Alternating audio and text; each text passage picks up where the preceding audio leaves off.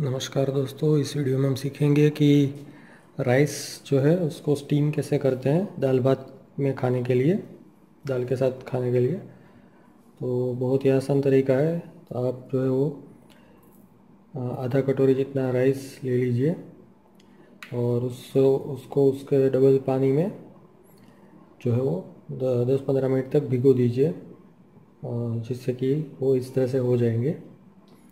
और इसके बाद इसको जो है, वो ये बर्तन में रख के उसको उबालेंगे। और उसमें हम थोड़ा सा नींबू का रस डाल देंगे, जिससे कि राइस जो है वो एकदम अलग अलग हो, रहेंगे। एकदम चिपक चिपक नहीं जाएँगे। थोड़ा सा घी और नमक डाल देंगे। तो चलिए शुरू करते हैं।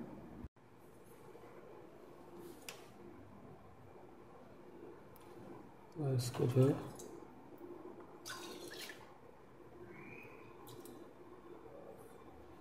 बर्तन में डाल दिया।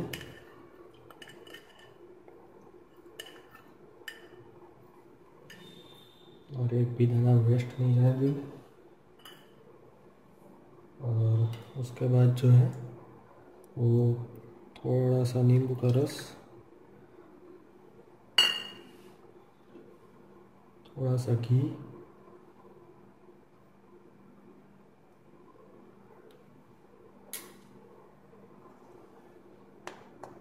और थोड़ा सा नमक। अब जो है वो गैस चालू कर देते हैं।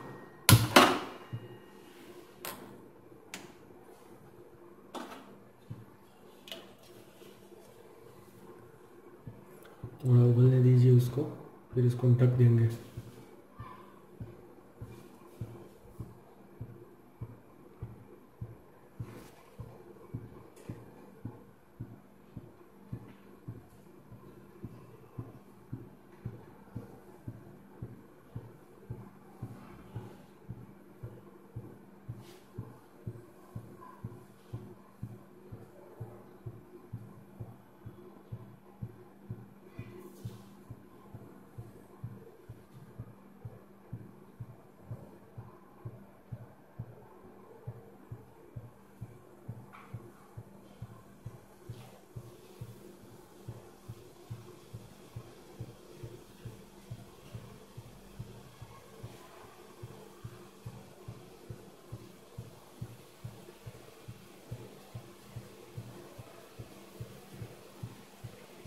थोड़ा सा गैस को हम स्लो कर देंगे।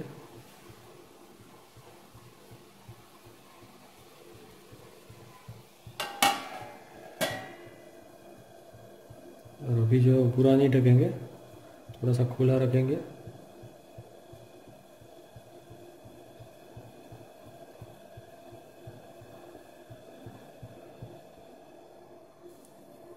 को जो है हमने स्लो कर दिया है।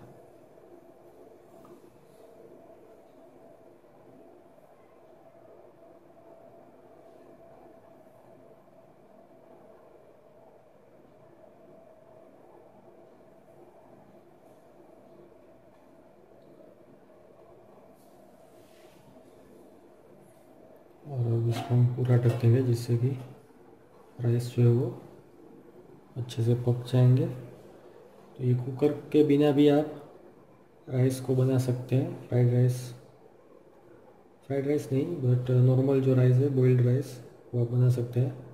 फ्राइड राइस में जीरे का तड़का लगता है।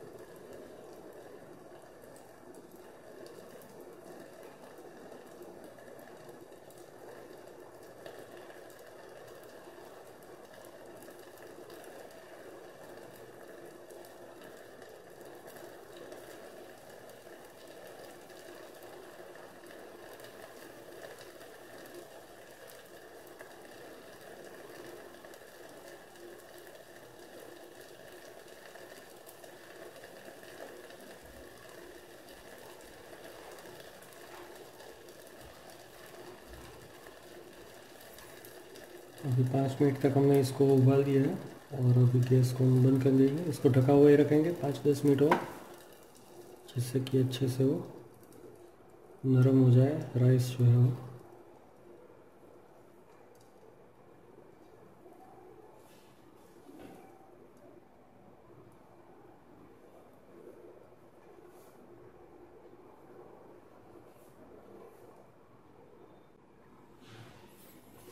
अब जो है, हमारा राइस जो है, उसको चेक कर लेते हैं।